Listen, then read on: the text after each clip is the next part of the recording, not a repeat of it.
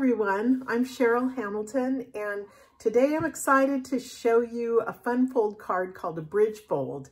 And to do this, I'm going to be using um, some items from the Peaceful Place Suite that's in the new holiday catalog. And the first one I made is um, like this. Here's a, a bridge fold card and you can see how it's made, but it does fold flat to fit in a regular size envelope. And um, I really love this. Tried to add a touch of red with like a bird and it did, it wasn't the right size. And I just um, wanted to see what would happen with if I put some red. So then I made a second card that I really love. This is more of a nighttime version.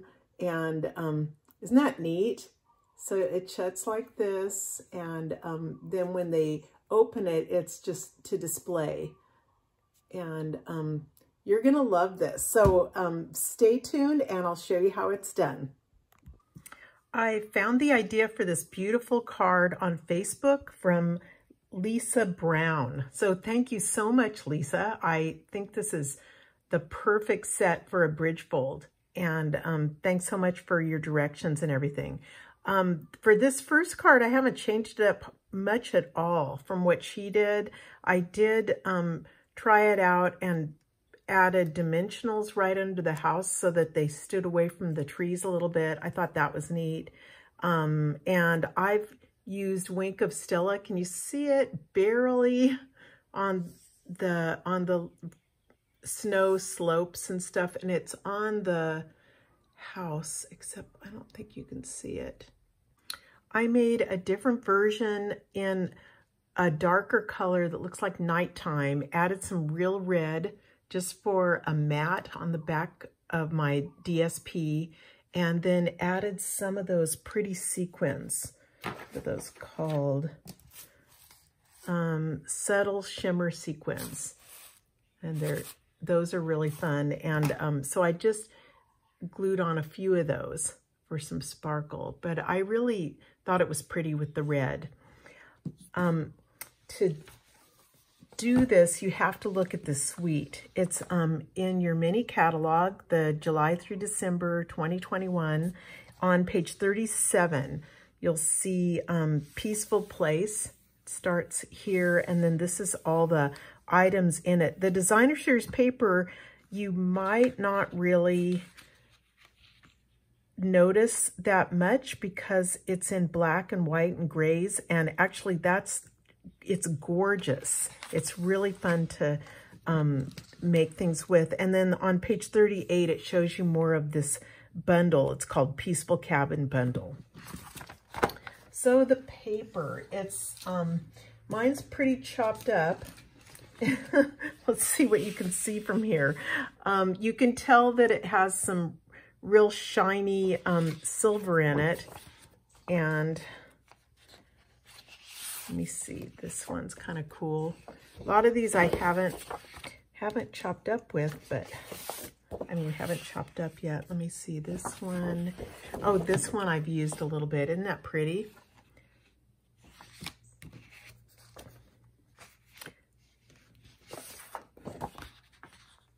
Oh, this is the one that's great. So obviously you're to cut it in quarters, so six by six pieces and um, use those however you want. And can you see the, there's the silver in it. So um, it's nice and um, bright, really pretty. Now this is another of my favorites. This is what I used for the nighttime card.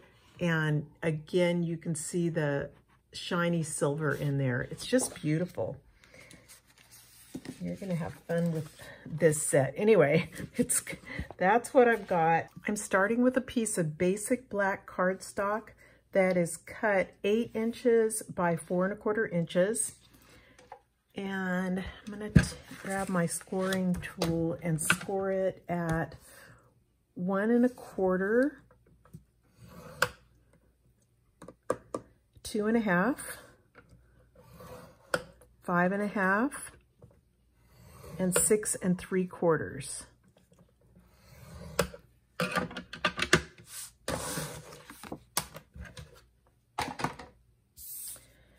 And I've cut my Peaceful Place Designer Series paper. For the middle part, I've cut it two and three quarters by four inches. And then I've cut four for my little side panels, and those are cut two and three quarter inches by four inches. And you can see how it would look if I put them down like that. It's, it's really pretty. Um, but I'm gonna eh, use um, some real red just to add some contrast. So I've cut my real red. I cut four and an eighth by two and seven eighths. So it's just a sliver larger. Isn't that pretty? And then um, for the other, for these four panels, I've cut my real red at four and an eighth by one and an eighth. So that'll be the difference there. Now I've finished gluing all my papers down onto my card base. And I'm going to fold it to make it into a bridge fold card. So I'm folding it towards the center first and then out. And same with the other, towards the center and the outer part towards the outside. So it looks like this. I've cut a piece of basic white cardstock in quarters. So these four pieces measure five and a half by four and a quarter. And I'm going to use these for stamping for the front part. And um, just for the back, you want to do a message on there. I've cut a piece of white that is four inches by two and three quarters. And I'll just put that aside right now.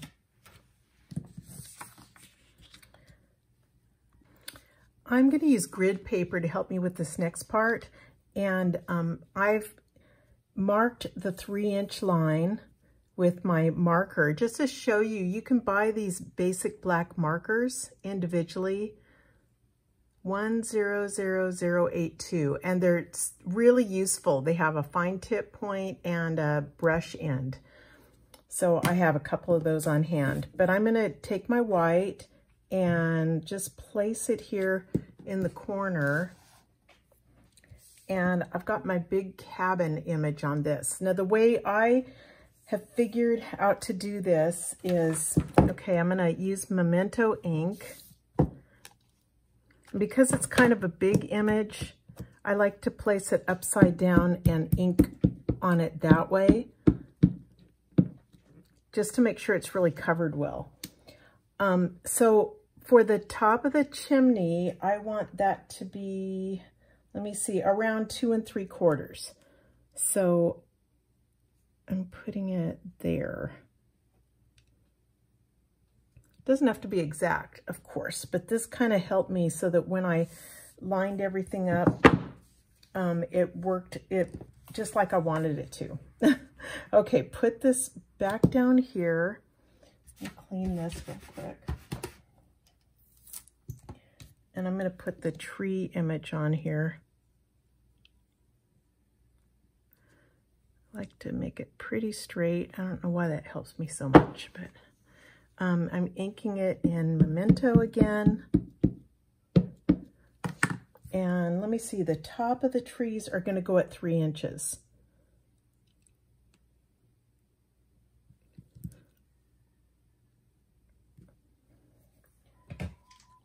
To stamp my fox, I want the feet to be at the one inch line.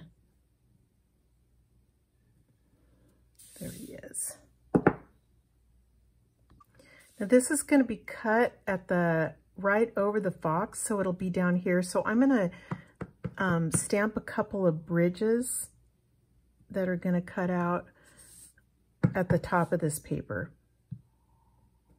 And I'm almost done. I'm going to do a few more trees um, just in case I find I want to add them in there on my last piece. I think that's good. I probably only need one set, but I'll do two in case I want more.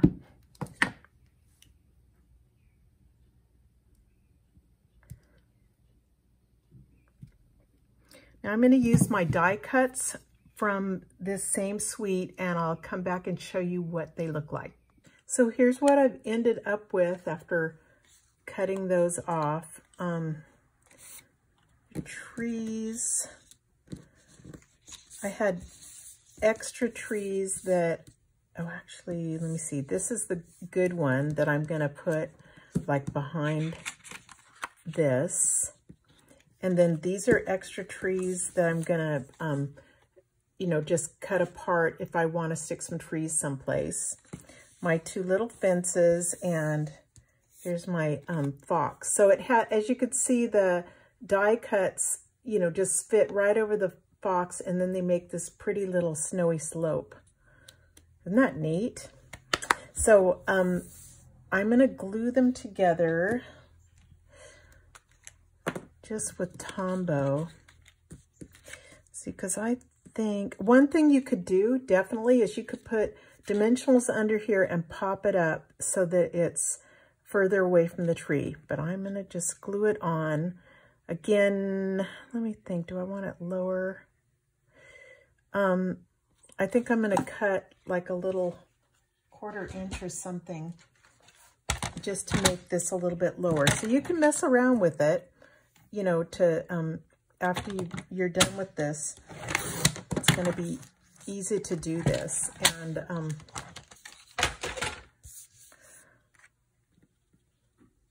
yeah, because a little bit more of the tree shows. Let me see what it's like when I put it on here.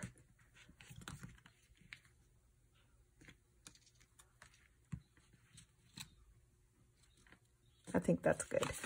Um, so in, see how this, um, the front image is a little bit taller. If I put glue all over this, it's going to get all over. so I always kind of look at it first and see, and um, all of the snow in under the trees is covered up. So I'm going to go ahead and put glue on there. I think that'll make sense to you guys. And then um,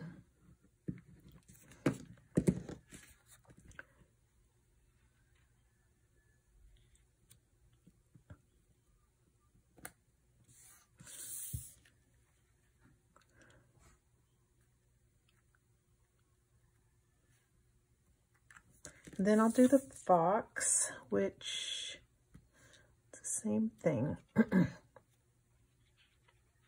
let me see. Yeah, I'm safe putting the fox down.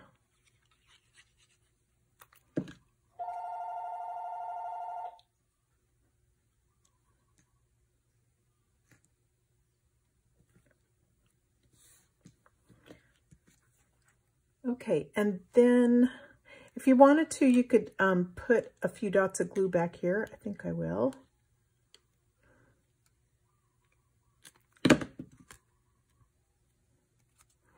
Then I'm going to glue it. Um, you're gluing to this panel, to both outer panels. And again, you want to be careful how you put the glue on. So I'm kind of measuring it first or putting it up there. It's going to go all the way to the outside of my card, card, sorry, the black. So I think that's good. And then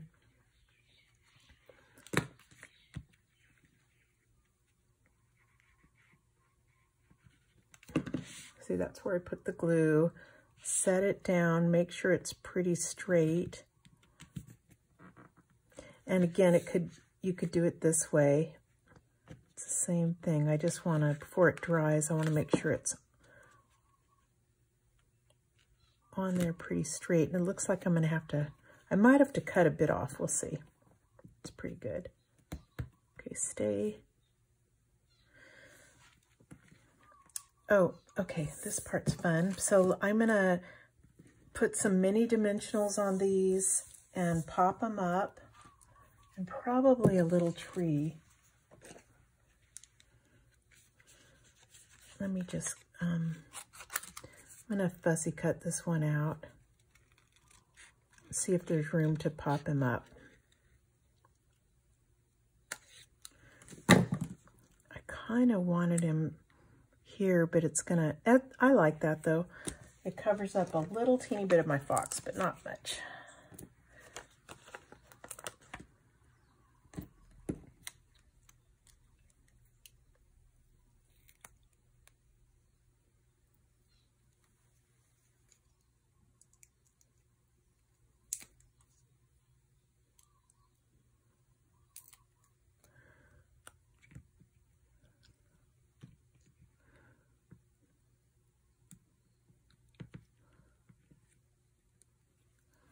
Okay, I'm going to put mini dimensionals on the little bridges.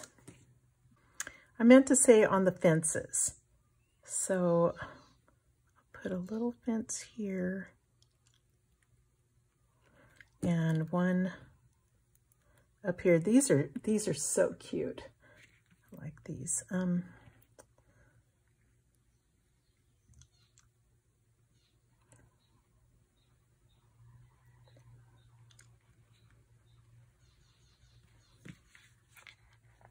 Okay, I think you could definitely finish there, but I'm going to add some of these subtle shimmer sequins. So um, I've got this little thing I got on Amazon that puts out tiny dabs of glue. So let me do that first.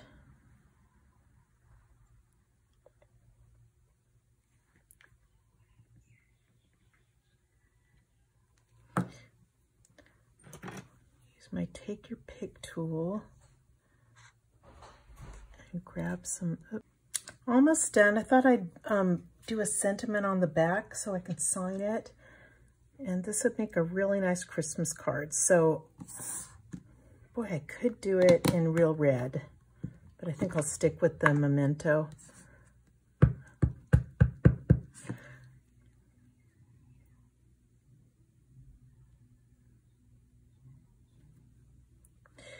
That's a font. And got this little one with some snowflakes on it, I think. Just put them randomly.